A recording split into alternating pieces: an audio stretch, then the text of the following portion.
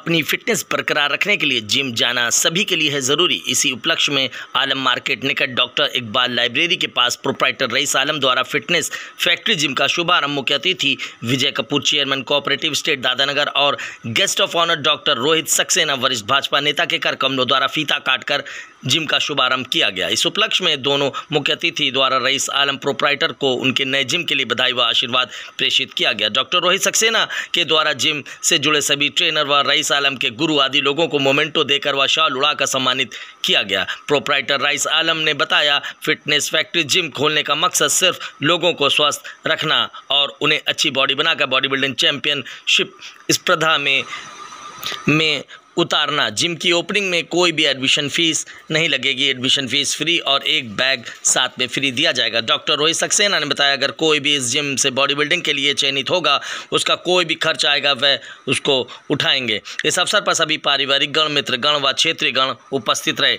देखिए खास रिपोर्ट कानपुर से।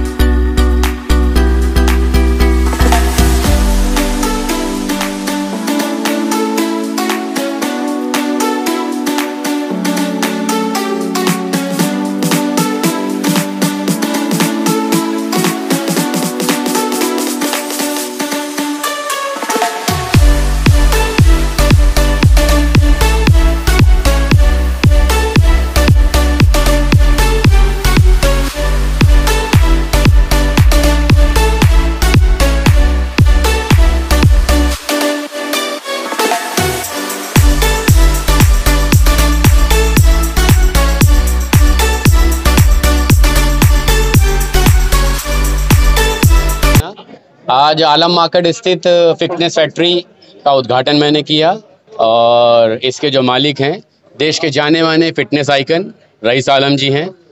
एशिया लेवल पे इन्होंने भारत का नाम रोशन किया है। बहुत खुशी की बात है, जब एक खिलाड़ी अपना कोई वेंचर लेकर के आता है तो वो केवल उसको बिज़नेस से पर्पज से नहीं लाता है, इस बात को ध्यान रखिए। जब भी बिजनेसमैन कोई वेंचर लाता है, उसका उद्देश्य होता है बिज़नेस से प्रॉफिट लाना। जब एक खिलाड़ी कोई अपना खेल से रिलेटेड वेंचर लाता है तो उसका उद्देश्य होता है वहाँ से खिलाड़ी तैयार करना। मैं आपको इस बात का बिल्कुल वादा करता हूँ, दावा करता हूँ कि बहुत आने वाले समय में हम लोग यहाँ से mister India, mister Uttar Pradesh mister Asia ऐसे खिलाड़ी भी हम लोग यहाँ से देखेंगे। मेरी शुभकामनाएँ हैं सभी को और सारे बच्चों को। और मैं जैसा ये जानते हैं मैं हमेशा अगर खिलाड़ियों को कोई ज़रूरत होती है मैं उनके लिए हमेशा खड़ा रहता हूँ। यहाँ से सेलेक्ट होने वाला यदि कोई बच्चा आर्थिक रूप से कमज़ोर होगा तो मैं आपसे वादा करता हूँ उसको एक रुपये नहीं खर्च करना है और वर्ल्ड चैम्पियनशिप जाने तक हम उसको स्पॉन्सर करेंगे। शॉर्टकट अपनाने लग गए हैं। बहुत सस्ते और बहुत ख़राब एस्ट्रॉयड यूज़ करने लग गए हैं। मैं हमेशा कहता हूँ, डाइट का मतलब भूखा रहना नहीं होता है।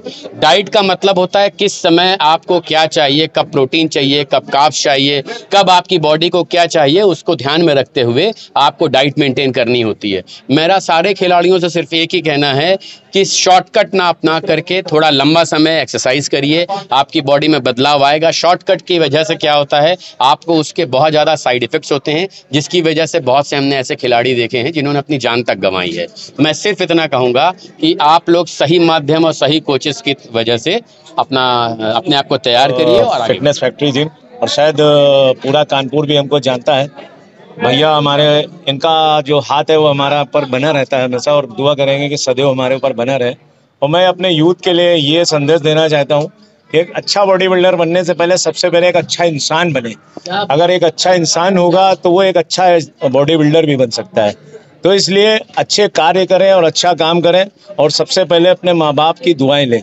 जैसे हमारे उस्ताद हैं ये इनका हाथ हमारे सर पे हमेशा रहा। मैं लेकिन आज तक इनकी इज़्ज़त करता हूँ। तो सबसे पहले आप अपने कोच की रिस्पेक्ट करें। अगर आपका कोच की आप रिस्पेक्ट नहीं करेंगे अपने टीचर की रिस्पेक्ट नहीं करेंगे तो कभी आप अच्छे बड़े प्लेयर नहीं बन सकते। उद्घाटन के अवसर पर क्या कुछ किसी प्रकार का डिस्काउंट भी दिया जाएगा? जी मैं अभी आज यहाँ पर जो भी फ़र्स्ट डे में एडमिशन होता है तो उसको मैं समथिंग जो है फाइव हंड्रेड वर्थ का एक बैग जिम बैग फ्री दे रहा हूँ। आज के दिन हम एंट्री फ़ीस भी फ्री रख रहे हैं। जैसे लोगों से ये आज हमारे मुख्य अतिथि में रहे विजय कपूर साहब और भैया हमारे रोहित सक्सेना साहब, जिनका काम ही काफ़ी है, आप शायद जानते होंगे। लोग हमारे आगे लगाते हैं, नाम ही काफ़ी है तो इनके आगे लगाते हैं, काम ही काफ़ी है।